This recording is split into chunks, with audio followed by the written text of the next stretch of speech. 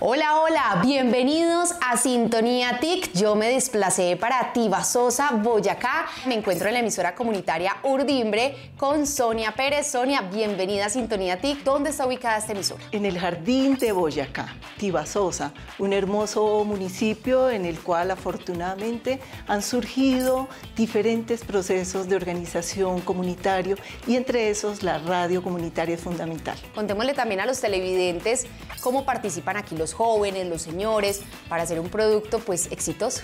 Pues es que dentro de la emisora tenemos una estrategia de complemento intergeneracional. Por eso tenemos un diálogo permanente, niños, niñas, jóvenes, mujeres, hombres, eh, personas de la tercera edad. Entonces, definitivamente un complemento intergeneracional porque se da un diálogo de saberes muy interesante. ¿Cómo es el día a día de ustedes? ¿A qué horas arrancan? ¿Tienen una parrilla de programación?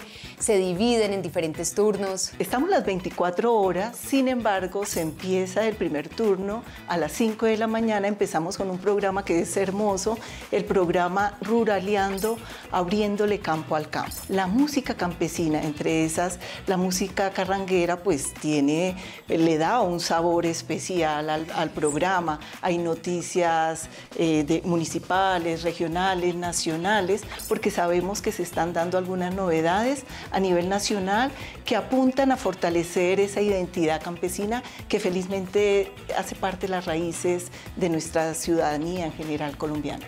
Ustedes también trabajan por la conservación del medio ambiente, ¿cierto? Por estas reservas naturales que tenemos en Tibasosa. ¿A qué se debe esto? Definitivamente que tenemos una mirada ecosistémica. Tenemos claro que aquí en el planeta no estamos solos, nuestra especie humana. Por eso aquí en Tibasosa pues tenemos la Reserva Natural Semillas, una reserva de 27 hectáreas que está en conservación. ¿Cómo se ven ustedes en unos años? Es decir, ¿cómo se proyectan llegar de pronto a más comunidades, extender más el campo, pues de sintonía para que los escuchen? Nos vemos como una emisora con corazón, con raíces mm, y fortalecimiento de la identidad cultural. Eh, nos vemos como una emisora eh, defendiendo los territorios, no solo nuestro territorio acá en, en, la región, en el departamento. El Ministerio TIC los ha capacitado, los ha acompañado desde el año pasado. Contémosle también a las personas cómo ha sido ese proceso pues, de acompañamiento desde el Ministerio. Bueno, estamos muy contentos, muy contentas de la actitud que está teniendo el personal del ministerio.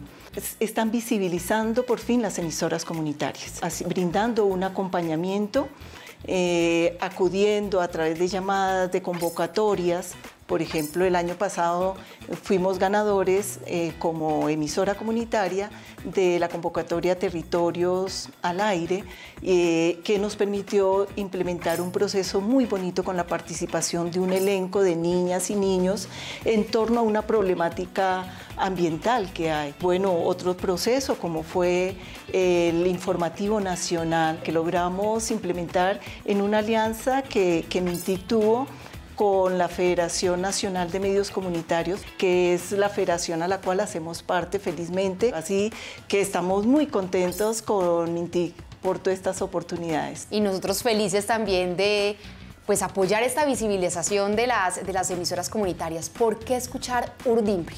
Porque definitivamente es la radio del nuevo tejido cultural. Es la radio que desde muchas voces, muchas actitudes, eh, venimos gestando, o como ya lo decía en un comienzo, una nueva cultura. Sería muchísimas gracias por habernos acompañado en Sintonía TIC y hasta una próxima oportunidad. Claro que sí, Manu, muchas gracias por estar acá y acuérdense que Tibasosa es un buen lugar para visitar.